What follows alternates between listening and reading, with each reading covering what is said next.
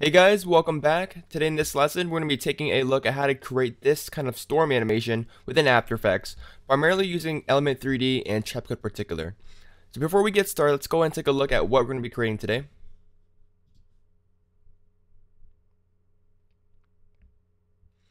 So as you can see, we have this nice cloudy background all created in particular. We have these rain particles also created in particular.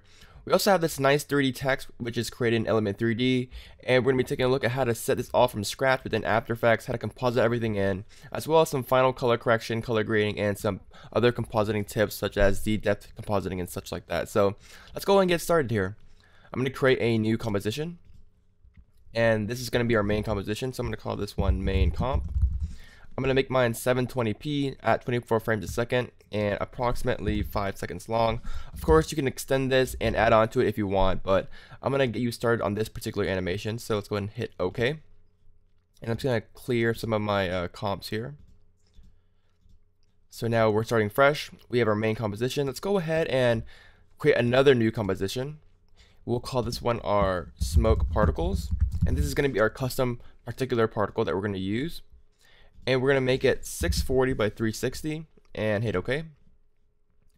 So let's go ahead and create our custom particle. Let's create a new solid layer. And this is going to be our smoke cloudlet layer. So let's go ahead and call this, uh, I guess, smoke particle. Hit OK. And we're going to use a fractal noise. So under noise and grain, let's go ahead and select fractal noise. And right off the bat, we have a nice fractal. Let's go ahead and get the ellipse tool.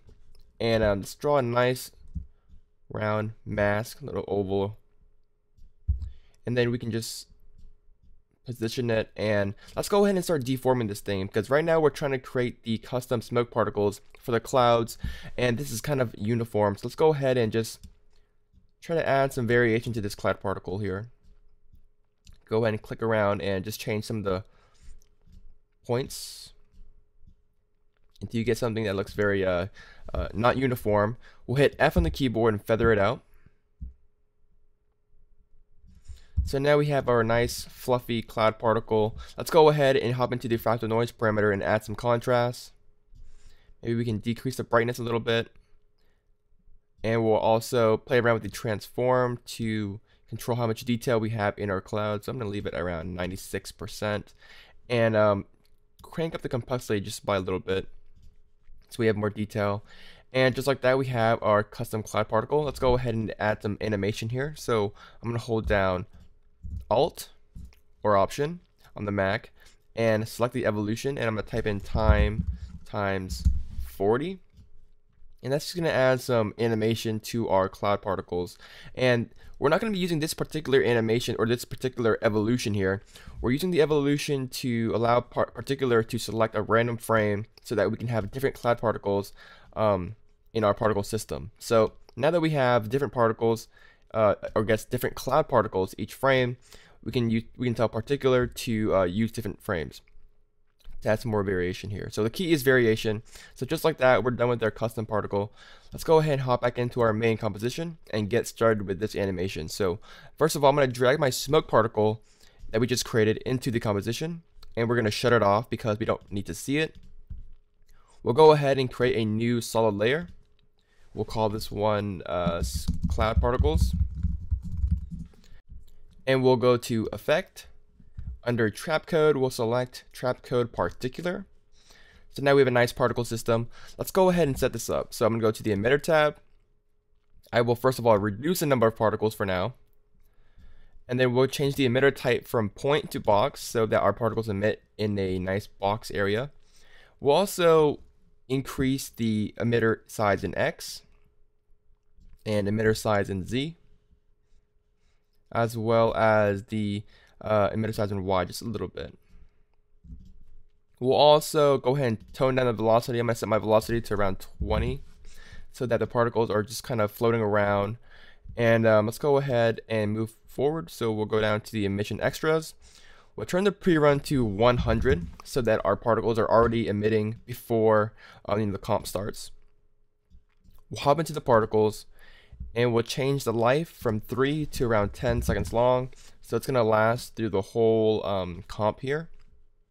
Now for the particle type, we don't want to use spheres here. We want to use our cloudlet particles. Now, the reason why we're not using the cloudlet particle built in within a particular is because um, it's not very detailed as you can see. It's mostly um, a whole bunch of spheres combined to create this kind of puffy smoke, but it's not as detailed as our custom particle here. So instead of using the cloudlet, we're going to use our sprite. And then under the texture, we're going to select our layer, so our smoke particles composition that we just created. And it's warning us that's too big, but we'll just ignore it. So now if we increase the size, you can see that we're using our custom particle for our particle system here. Now right now they're all uniform because it's set to current time. So we're going to set the time sampling from current time to random still frame. So particular is going to go through the whole composition and select a random frame for the particles so that each particle is somewhat different. And then we can always just change it up by playing around with the random seed. We'll also um, hop into the size. Maybe we'll increase it up a little bit. And then we will um, go to opacity over life We'll select this one here, so it's going to fade in and then fade out. We'll also tone down the opacity. We kind of want to make our clouds somewhat transparent. You know, maybe around 17 or 20%. Um, we'll also go to the transfer mode, change it to screen so we have a nice blending.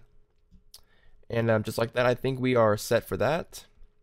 We'll also increase the size randomness to add some more variation. Again, the key is variation. We'll also increase the opacity randomness. And let's go and tweak some of this emitter settings. So just like that, now we have somewhat of a three-dimensional cloud particle system. So if I create a new camera, and we can actually rotate around this thing, you get actual 3D depth, but that is nothing new. So let's go ahead and work on our rain particles. So very similarly, we're to create another new solid. We're to call this rain particles. We'll apply effect, Trapcode, particular, and we will go into the emitter tab again. We're to pull up the position pretty high up, uh, you know, above the frame here. We'll change the emitter type from point to box we will go ahead and just move forward a little bit. We will increase the emitter size in X and increase the emitter size in Z. As you see here, we're just going to move it up just a little bit more so we don't see it. And um, we will go ahead and go down to the physics and we'll go to the gravity and change the gravity from 0 to around 2000 and that's really going to pull the particles down here. So if I just solo the rain particles, you can see that we have our particles just falling down we may need to increase the x just a little bit more and increase the number of particles. So right now it doesn't really look like rain, but if we enable the motion blur for the layer as well as the composition, you, we have these uh, we have this really nice interesting rain here. So if I do a RAM preview, you can see that we're getting a pretty intensive rain. And we also want to turn on the pre-run so we don't get that weird emptiness in the beginning. We'll also go to the particles We'll also uh, maybe change the size randomness up a little bit, opacity randomness up a little bit, and decrease the opacity. And, um, you know, just like that, I think we are set for the rain. And again, if we rotate around this, you can see that we actually have, uh, I guess, a 3D particle system with our rain and clouds. And we'll just put this underneath our cloud here. So pretty interesting, nice environment let's go ahead and start doing some basic color correction and kind of blending all this in together. So let's go ahead and select our cloud particles first and we will go to effect, we'll go to color correction and we'll go to curves. And then we're just going to add maybe a little contrast to this thing. And right now I'm just dialing a temporary look right now. So I'm going to go for kind of a blue greenish uh, kind of sci-fi look. So I'm going to crank up the blue a little bit, maybe crank up the green a little bit, and then maybe decrease the reds a little bit. So we kind of have this cool color. Kind of adjust some of this.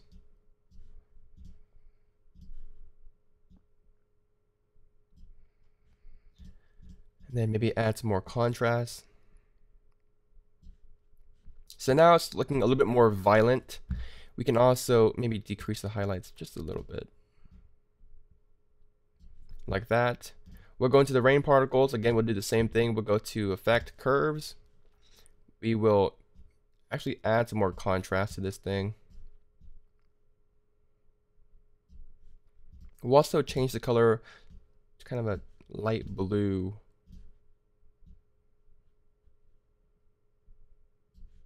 Like that. Now that we have the environment kind of set up, let's go ahead and take a look at 3D text. So for the 3D text, I'm going to be using Element 3D from Video Copilot. I'm going to create a new text layer. And I'm going to type in our text. I'm going to call this um, 3D Storm. And um, we'll turn that layer off because we don't need to use that. Again, it's a matte layer or, or a reference layer. And then we're going to go to Layer, New, Solid. And we'll call this uh, text. And we'll apply Effect, Video Copilot Element 3D. We'll hop into the custom layers. Under path layer 1, I'm going to select our 3D storm text here so that After Effects or Element 3D is actually referencing to this particular 3D storm text. We'll go into the scene setup and we'll hit extrude and that's going to extrude our text. And then he, from here you can create your own bevels, add your own materials to it, even import your Cinema 4D text, whatever you want. But I'm going to use a preset bevel and I'm going to select the, let's see here, the professional bevel because why wouldn't you want to be professional? So I'm going to go into the um, material settings here and just kind of tweak some of these settings. I'm going to go into the the bevel 4 and maybe change the color from a white to maybe a darker color, like gray.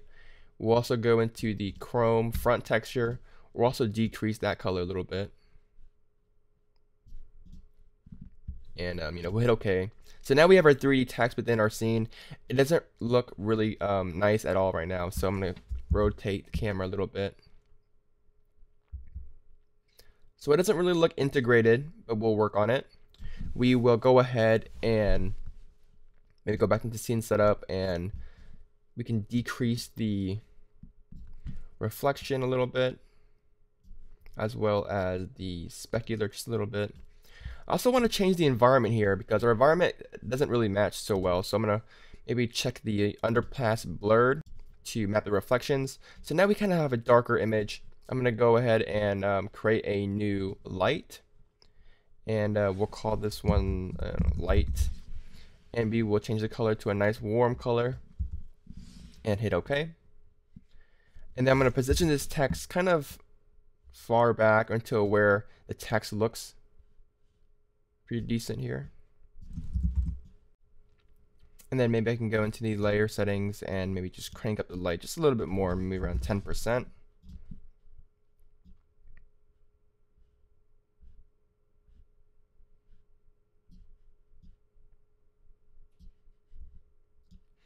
So just something that we can have a specular highlight for. So you see the light's kind of in front.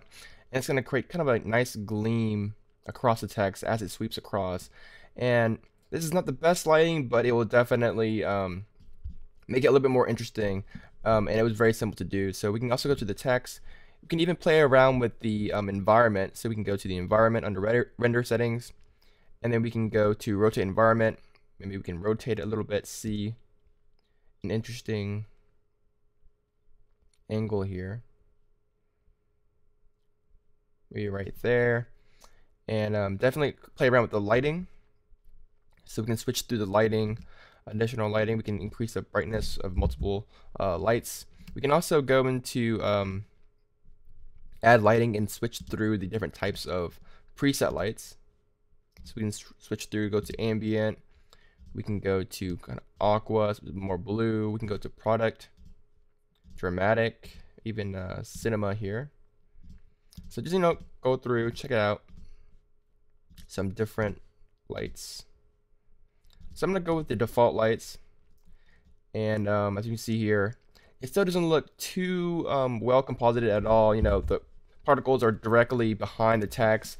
Um, our text needs some color correction, some color grading, and things like that. But we're going to do that in the next lesson. So in the next lesson, we're going to be taking a look at compositing the text a little bit better um, you know, adding the depth pass in and compositing the depth pass within the element layer as well as do some color correction, color grading, as well as doing the overall color correction and grading, and just taking a look at how to enhance this animation just a little bit more. So that's what we're doing in the next lesson. Until next time, my name is VinhSon Nguyen, and I'll see you guys next time.